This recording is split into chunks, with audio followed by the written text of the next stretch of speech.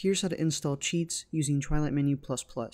So you're going to go to the website I have in the description down below, and you will download spoiler download, and then it will come up with this link, and you'll click it.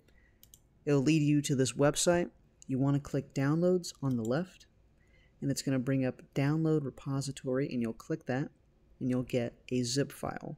Now on my screen I have the DSI's SD card on the right and the file I just downloaded over here on the left. So with the zipped file we just downloaded, we can left click it twice, do that again, and we're going to go into cheat databases, and we just need the DAT file, which for me is on the bottom of the list. And now we're going to go to our SD card. We're going to go to NDS, we're going to go to Twilight menu, and then we're going to go to Extras. We're then going to left click and drag the DAT file onto our SD card.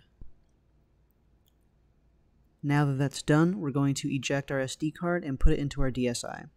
So once you have your DS games open, you can press Y to open up the menu, and then you can press X to open up the cheats menu, and now you have access to all of these as long as the DAT file had your game on the list, which it most likely will. So for example, it had Pokemon Heart Gold, it even has Picross 3D and Phoenix Wright as well. So that's how you get cheats on your DSI.